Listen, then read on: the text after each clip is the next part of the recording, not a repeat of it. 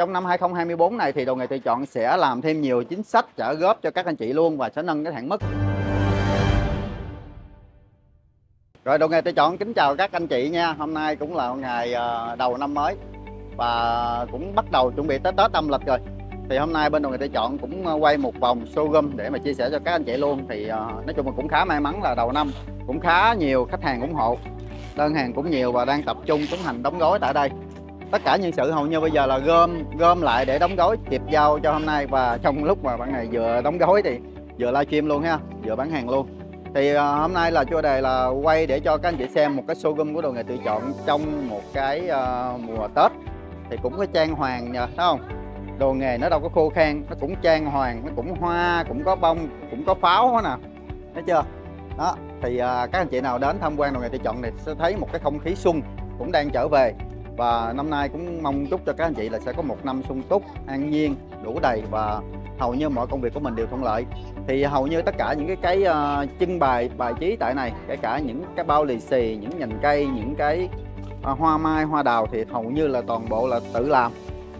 Toàn bộ là tự làm hết nha nó cũng đơn giản thôi. Nên là mình có thể là anh chị nào mà đang làm kinh doanh mà trong những lĩnh vực bán lẻ giống như đồ nghề tự chọn á thì có thể là trang trí nó không có bao nhiêu tiền hết trơn á nhưng mà nó làm cho mình có một cái không khí xuân và để cho mình có thể là háo hức mình có động lực để mình làm uh, trong một cái năm mới. Và đây khách hàng cũng đang xem hàng xem máy ha. À, đủ hết rất là nhiều luôn rất là nhiều cái không gian trưng bày để mà cho khách hàng thấy được cái không khí xuân tại đồ nghề tự chọn. Và hôm nay thì uh, cũng uh, cũng xin vía nhiều nơi thì cũng đã được khoảng 400 đơn hàng ha 400 đơn cái này là gói rồi nè thì uh, đây là toàn bộ những cái ờ, chưa gói và đang tiến hành uh, gói.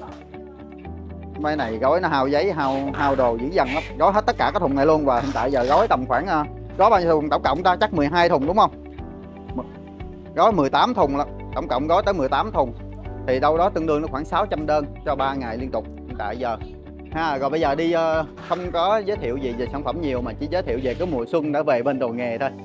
Mùa xuân đã về bên đồ nghề tự chọn à, có những cái này là toàn bộ là những cái này là những cái cô bé tại đồ nghề tự chọn là các bạn làm luôn đó. Các anh chị thấy đẹp không? Toàn bộ là các bạn tự làm hết. Không có ờ, đi thuê ai hết và cũng ờ, tự mài mò thủ công. Những cái lúc vắng khách đó là chia nhau làm. Trang trí lên cho nó trang hoàng có không khí tết. Và hiện tại bây giờ trong siêu thị của mình đang cũng là bắt nhạc xuân để mà cho có một cái không khí nó xuân sao nữa đây đây là đóng gói hàng ha chia làm hai bàn khu vực đóng hàng. Nhưng mà chủ yếu là các khu vực này là tại đang livestream nên nên là nhường cho khu vực này livestream. Chứ không thì sẽ đóng hàng bên khu vực này sẽ nhanh hơn. Ở đây là một bạn đang vừa like vừa đóng.